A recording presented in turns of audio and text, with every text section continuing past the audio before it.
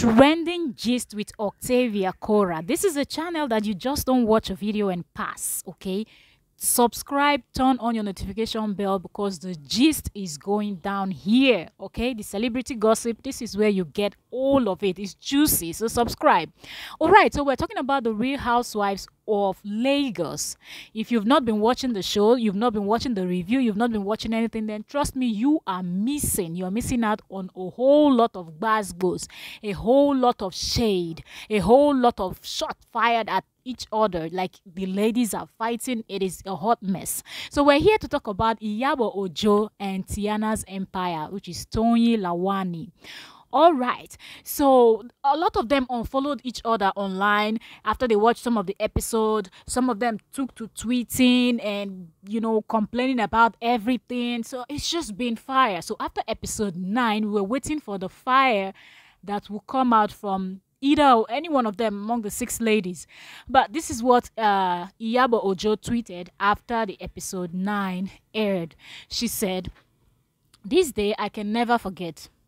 I was very ill I'm anemic, so whenever I'm overstressed, it wasn't. And coupled with the fact that I had malaria too, that just wasn't it. But I was so determined not to miss Atiana's Empire's hosting on The Real Housewives of Lagos.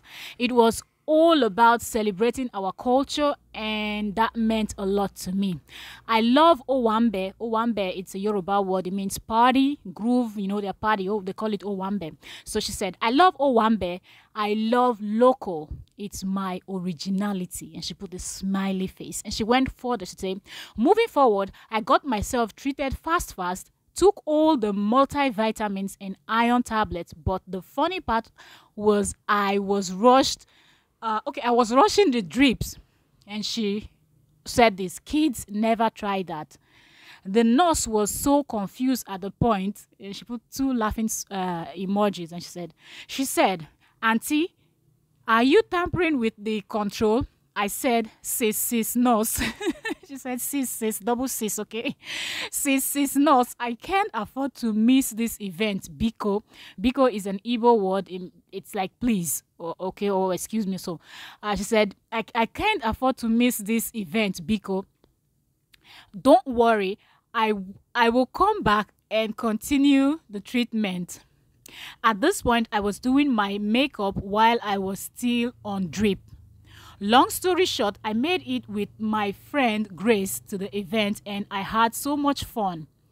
Episode 9 of The Real Housewife of Lagos showing now on Showmax and she tagged them.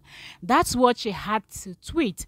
And I think this was cool. And, and let me read to you the response of Tiannah's Empire. Tiannah Empire responded back and said, If only they saw you on drip doing makeup. and she put four or five uh, like crying emoji. And she said thanks for making it. And she gave her five hearts. So this was the conversation going on between the both of them. And I feel like this is what they should be doing, okay? Other than the way the other ladies that I don't even want to mention right now, they just go about complaining, bashing the show, bashing the pro producers, talking about what they did and what they didn't do and we were expecting this, we were not expecting that. I just feel like you cannot sign a deal like this. And when I mean a deal like this, I'm talking about you signing a contract to be in a reality TV show, it is always a hot mess anywhere in the world, any continent, be it America, uh, Europe, Africa, or Asia, anywhere, any continent at all. If it's a reality TV, it is a reality TV. It is going to be a hot mess. If it's a movie, they will be able to edit out all the parts that they don't want to show. But reality TV, it has to be a hot mess for people to watch, for the ratings to be high. So I feel like this is the conversation that should be going on. Comment down below and let me know what you think about